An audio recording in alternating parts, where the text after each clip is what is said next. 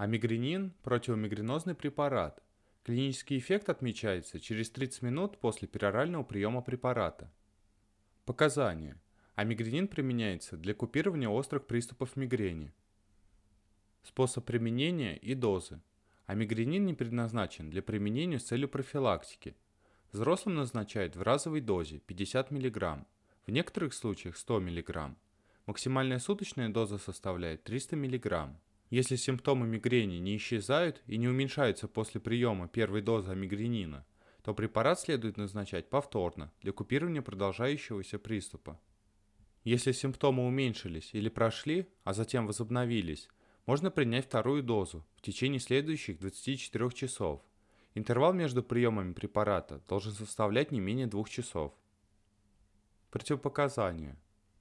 Гемиплегическая, базилярная и офтальмоплегическая форма мигрени, ишемическая болезнь сердца, в том числе стенокардия, окклюзионные заболевания периферических артерий, неконтролируемая артериальная гипертензия, инсульт или переходящее нарушение мозгового кровообращения, в том числе в анамнезе, выраженные нарушения функции печени, одновременный прием препаратов, содержащих эрготамин или его производные – одновременный прием ингибиторов моноаминоксидазы и период до 14 дней после их отмены, беременность, период лактации, грудного вскармливания, возраст пациентов до 18 лет и старше 65 лет, повышенная чувствительность к препарату.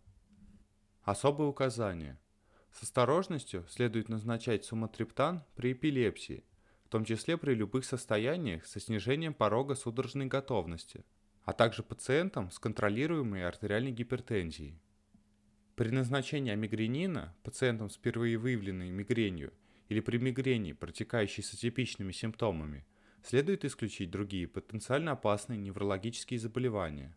Необходимо иметь в виду, что у пациентов с мигренью существует риск развития цереброваскулярных осложнений, в том числе инсульта или переходящих нарушений мозгового кровообращения – Препарат не следует назначать пациентам, относящимся к группе риска развития патологии со стороны сердечно-сосудистой системы, без предварительного обследования с целью исключения заболевания.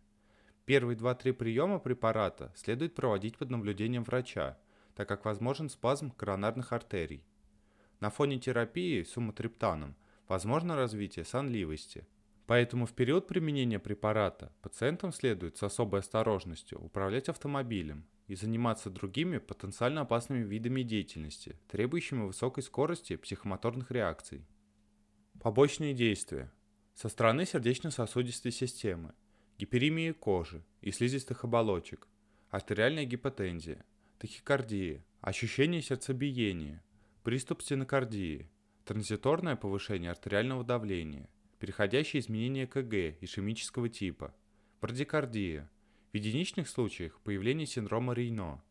Со стороны центральной нервной системы головокружение, слабость, сонливость, чувство усталости, нарушение зрения, диплопия, скотома, снижение остроты зрения.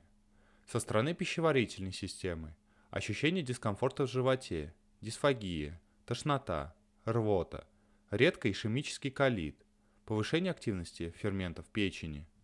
Аллергические реакции – сыпь, зуд, эритема, крапивница, анафилаксия.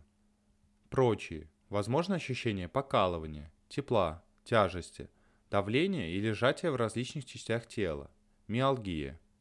Условия хранения и срок годности. Препарат следует хранить в сухом, защищенном от света месте. Срок годности 2 года.